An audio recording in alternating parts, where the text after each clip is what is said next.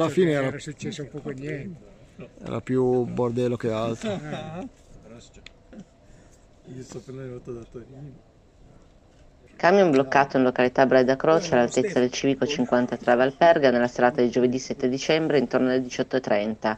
Il mezzo pesante, di nazionalità belga, è rimasto incastrato sul ponticello con un treno di ruote nel fango, a causa del navigatore che le ha indicato la strada sbagliata.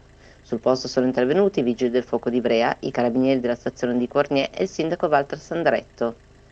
Toccherà all'autogru sbloccare la situazione. La difficoltà nasce dal fatto che il camion è carico di materiale pesante, disagio al traffico veicolare con strada momentaneamente bloccata.